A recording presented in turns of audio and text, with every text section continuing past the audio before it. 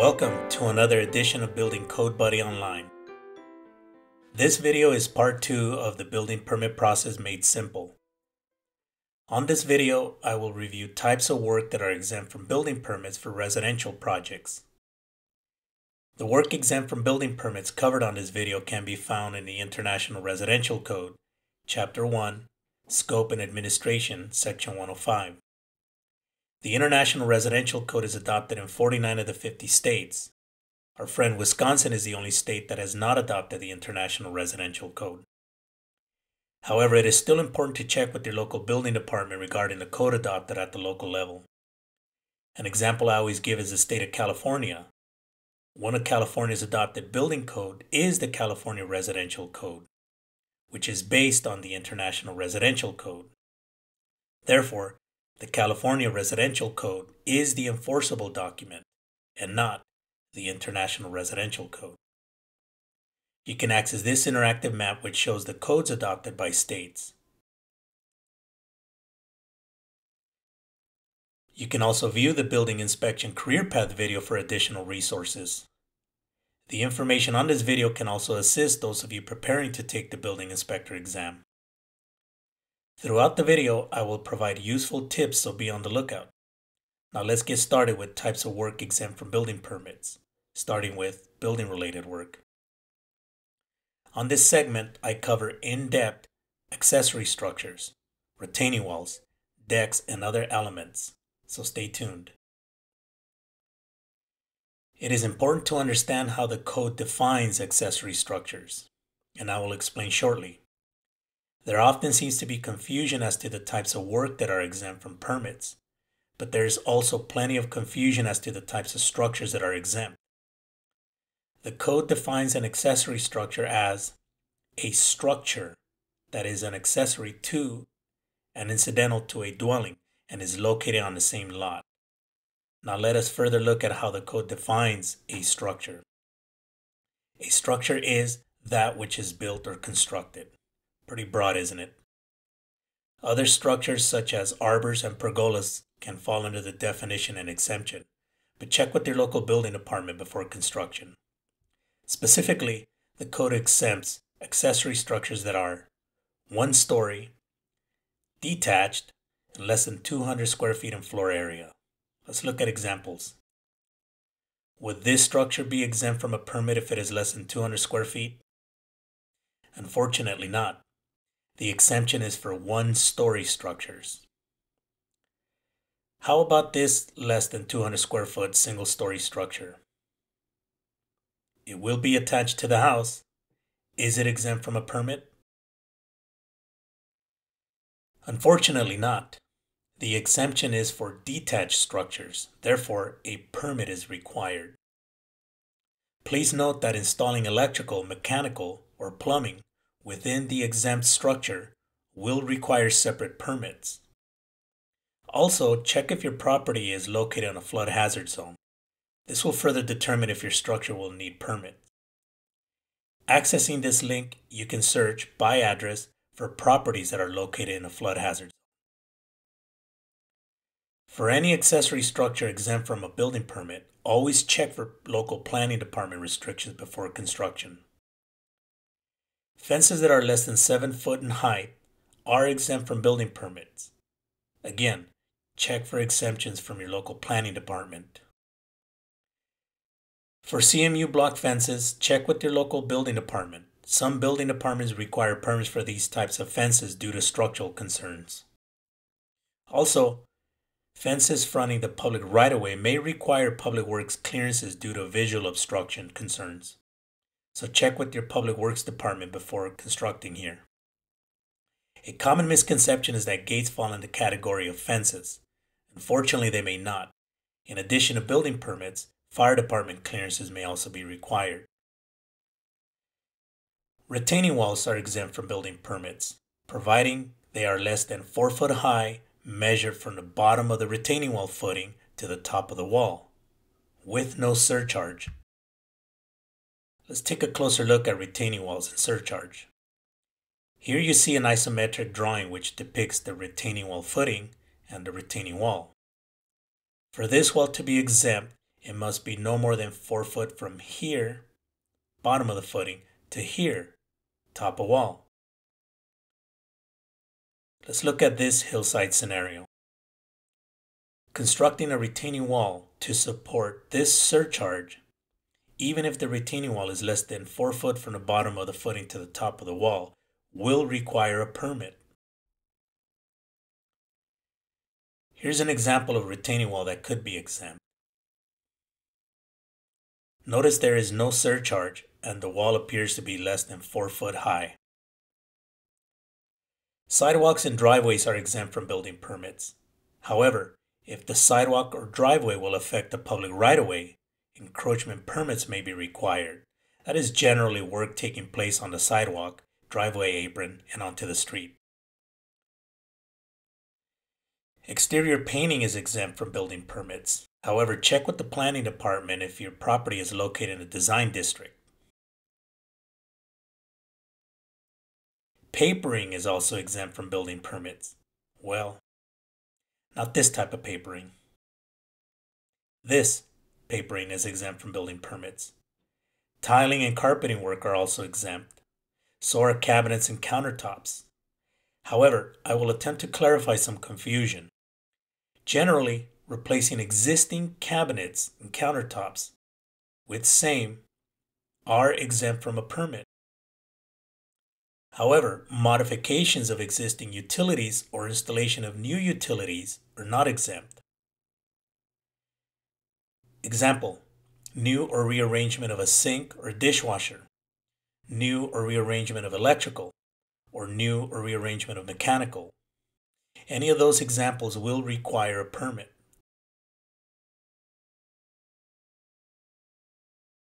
Prefabricated swimming pools are exempt from building permit providing they are less than 24 inches deep. Window awnings less than 54 inches from the exterior wall that do not require additional support are exempt from building permit. However, please check with your local planning department for restrictions.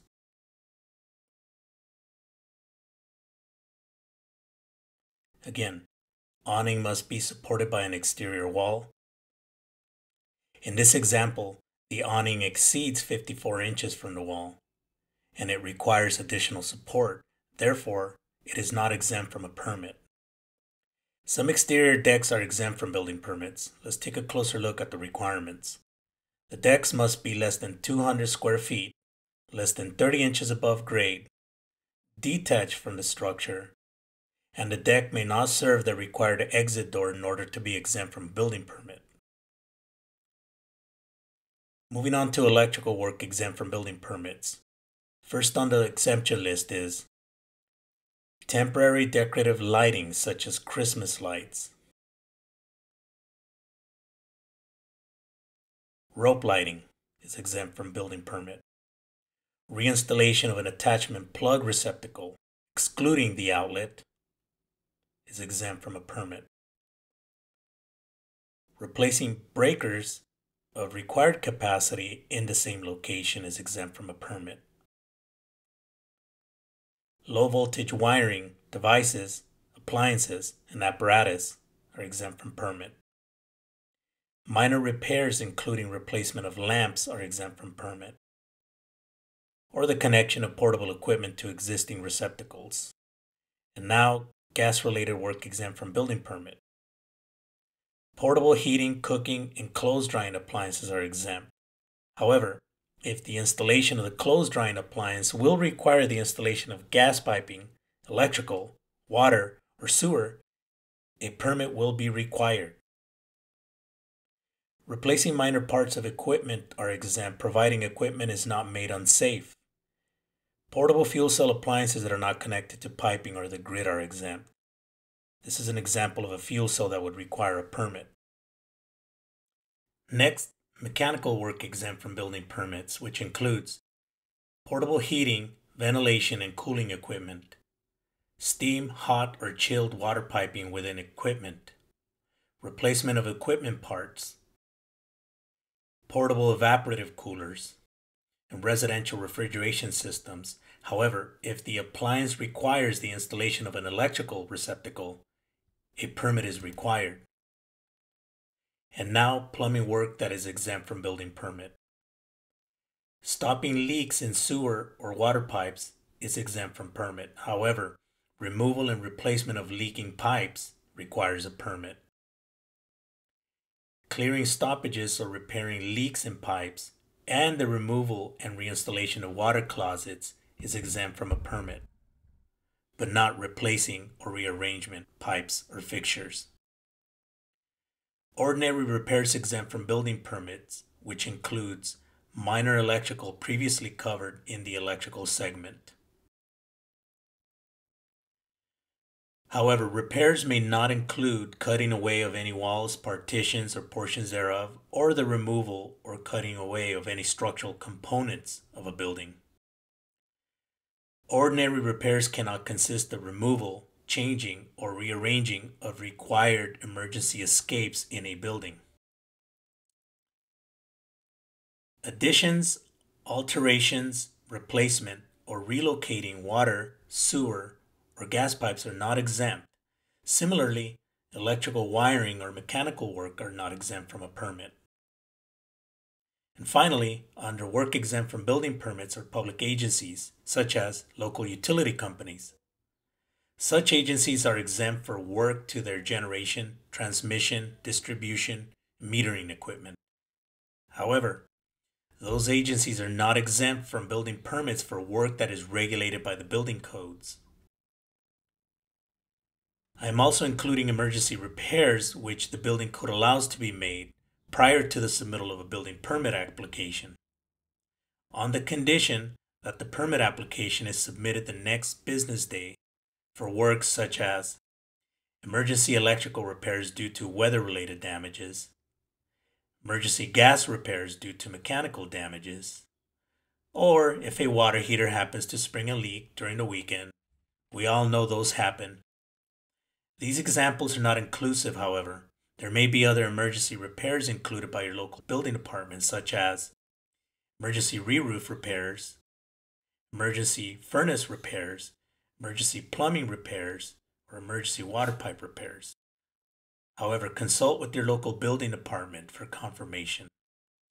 And once again, conducting emergency repairs requires a submittal of the building permit application on the next business day. Well, folks, I hope you found this information of value. I will leave you with my personal advice regarding work exempt from building permits. First, remember that work discussed on this video are exemptions from building permits only. Such work may require clearances from other departments, but start with your local building department. They are usually the hub of the permitting process and they will guide you accordingly. Access your local building department's webpage for helpful resources. You can find informational handouts, inspection checklists, online portals to check permit history on properties, schedule inspections, check status of submitted projects, and more. Also, remember that building codes are available online and free of cost. Links to access codes and other helpful resources are on the description box or on some of my other videos, so check them out. That is all for now. Be sure to like, share, and subscribe to get alerts on future topics such as the code enforcement process and how to clear your violation, residential building inspections, how to better your chances at passing first time, the building permit process for new and current business owners, accessory dwelling units, and more. You don't want to miss it, so stay tuned. Once again, thank you for viewing, and see you next time.